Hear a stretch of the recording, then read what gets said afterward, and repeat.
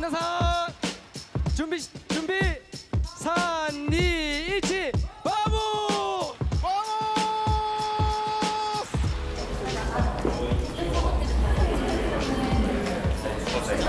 Vamos, vamos. It was good? 부끄럽진 않죠? So embarrassed.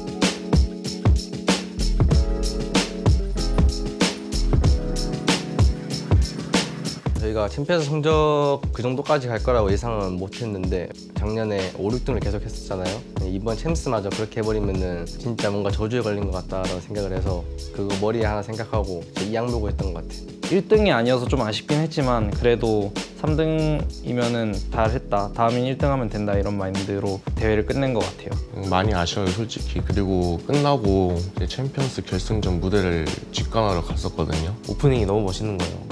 그래서 그때 너무 아쉽더라고요. 저희도 저기 올라갔었을 수 있었는데 하면서 DRX를 한 단어로 명실상부 아시아의 최강 거의 아시아 대표라고 부를 수도 있는 팀이라고 생각하니까 최고라고 생각합니다. 최고.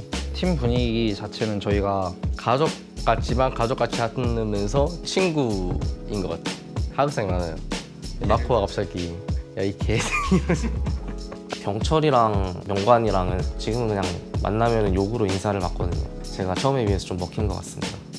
어느 선수한테 많이 먹힌 것 같아요? 음, 둘한테 다 먹혔어요.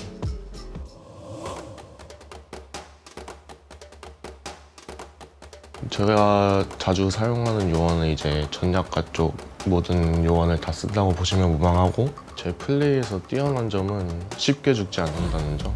하나 더 하나 더. 아래쪽에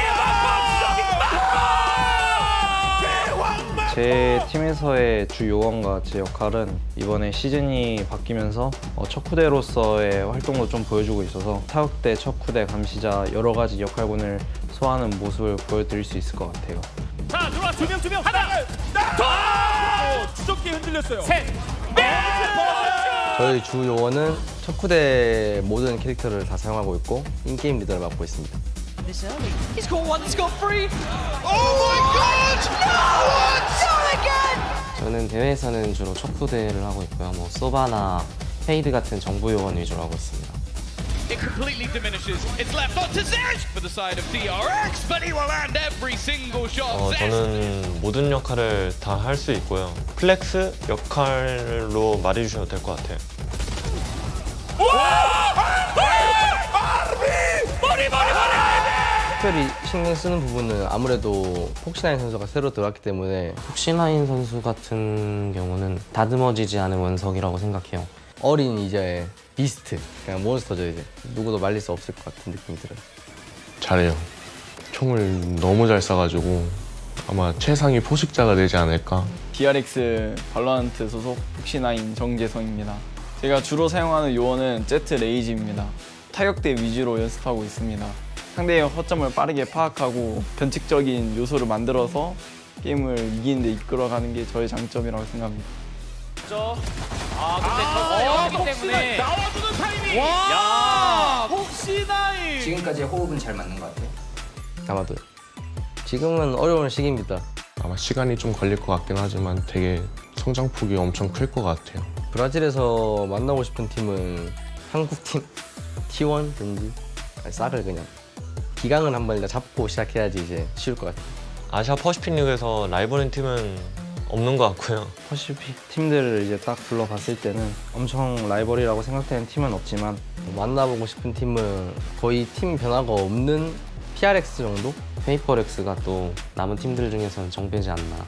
사실 이전보다 더 상대들이 세진 건 맞지만 그렇다고 해서 결과가 막 크게 바뀌진 않을 거라 생각을 해요 그냥 하던 대로 또 하면 1등 할 것 같아가지고 목표는 저는 뭐 어떤 데든 1등이긴 한데 국내 대회에서는 1등을 수없이 많이 해봤지만 마스터즈나 챔피언스 나가서는 1등을 하지 못했었기 때문에 쉬운 팀 하나도 없겠지만 그래도 열심히 준비해가지고 꼭 좋은 성적 낼 수 있도록 하려고요. 저희가 퍼시픽에서 무조건 올라간다라는 자신은 있지만 그래도 어떻게 될지 모르는 거기 때문에 그래도 항상 저희는 한 자리를 먹고 들어간다는 마인드입니다. 저희가 이번에 프랜차이즈 꼭 우승할 거니까 항상 하던 대로 응원해 주시면 감사히 우승하고 있습니다.